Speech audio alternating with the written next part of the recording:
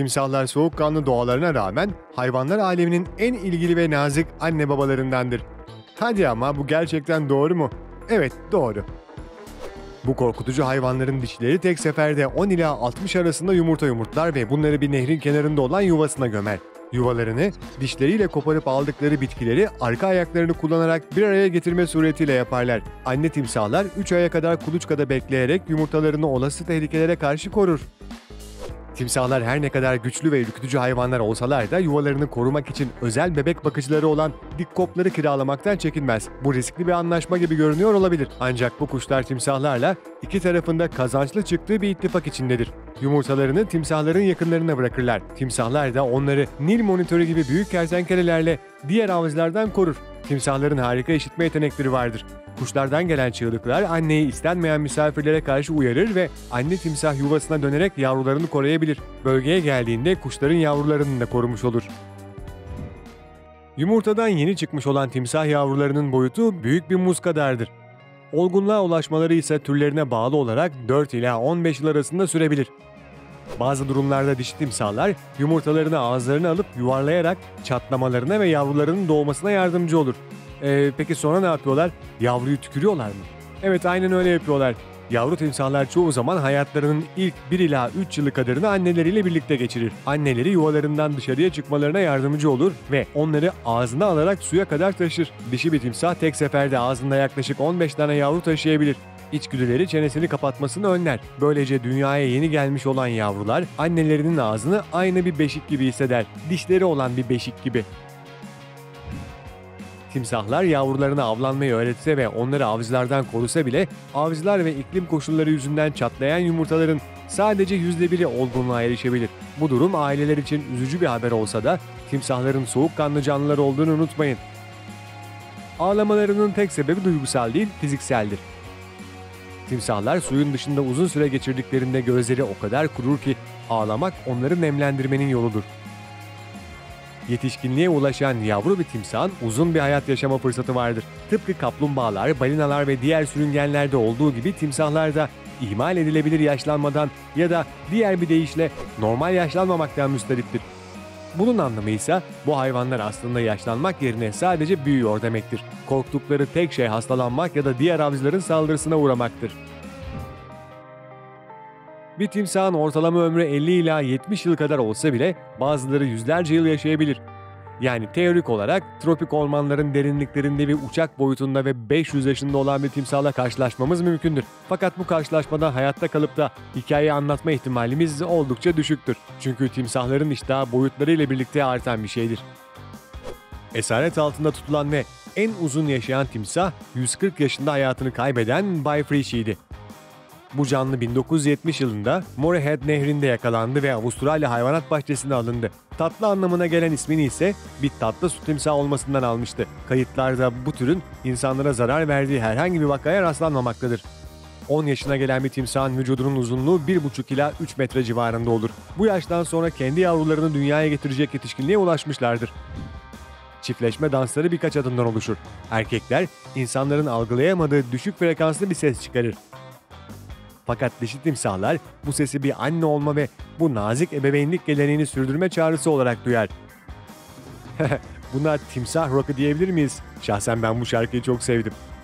Elbette şaşırtıcı derecede yüksek aile değerlerine ve adanmışlığa sahip olan tek hayvanlar sadece timsahlar değil. Örneğin kutup ayıları da oldukça özenlidir ve usanmak bilmeden yavrularına soğuk iklimde hayatta kalmak için gerekli olan tüm yetenekleri öğretir. Kutup ayıları bebekleri hala karınlarındayken kar yığınlarını derin bir şekilde kazarak özel bir yer hazırlar. Bu yer yavruları için bir yuva olur. Yavrular hayatlarının ilk aylarını annelerinden süt emerek ve ısı alarak geçirir. Kutup ayıları genellikle Kasım ve Ocak ayları arasında doğum yapar. Bahara kadar da yavrularına dışarı çıkma izni vermezler. Yeni doğan kutup ayılarının kürkü oldukça incedir ve henüz şiddetli soğuklar için hazır değildir. Yavrular yuvadan çıktıktan sonra anneleri ona dış dünyada nasıl hayatta kalacaklarını öğretir. Yavrular annelerinin her hareketini taklit ederek nasıl yüzeceklerini, avlanacaklarını, yuva kuracaklarını ve göç edeceklerini öğrenir. Anneler herhangi bir tehdide karşı yavrularını güvende tutmak için diğer kutup ayıları ve avcılarla savaşabilir. Yavrular 2-3 yılın ardından ihtiyaçları olan her şeyi öğrenir ve anneyi terk eder. Fakat yaklaşık 30 yıl süren hayatları boyunca annelerini gördüklerinde tanıyabilirler. Şefkatli annelere dair diğer bir örnekse yakın akrabalarımız olan primatlarda bulunur. Goriller, şempanzeler ve şempanzelerin kuzenleri olan bonobolar yeni doğan yavrularını insanlar gibi sahiplenir ve öper. Dişi primatlar bebeklerini beslerken annelik hisleri ve şefkatle ilişkilendirilen özel hormonlar salgılar. Ancak söz konusu emzirmek olduğunda şampiyon orangutanlardır. Çünkü bu süreç onlar için 8 yıl kadar sürebilir. Vahşi doğadaki orangutanlar yavrularını ortalama 7 yıl boyunca emzirir. Bu süre başka hiçbir primatta bu kadar uzun değildir. Bu dönem boyunca anneler yavrularına kendi kendilerine yemek bulmayı ve uyuyabilecekleri yuvalar yapmayı öğretir. Dişi orangutanların anneleriyle olan bağı erkeklerin anneleriyle olan bağından daha güçlüdür. Dişi yavrular çocuk doğuracak yaşa gelene kadar anneleriyle birlikte kalabilir. Bu da yaklaşık 15 ila 16 yıl civarındadır. Evet evden taşınmayı reddediyorlar diyebiliriz. Tıpkı insanlar gibi maymunların da sosyal hayatlarına etki eden anne sorunları olabilir. Anne desteği genç primatların hakimiyet kazanmasını kolaylaştırır ve büyüdükleri zaman çiftleşme şanslarını arttırır. Diğer yandan çocukluğunda yeterli ilgiyi görmeyen yavrularsa yetişkinliğe eriştiklerinde daha az çocuğa sahip olur.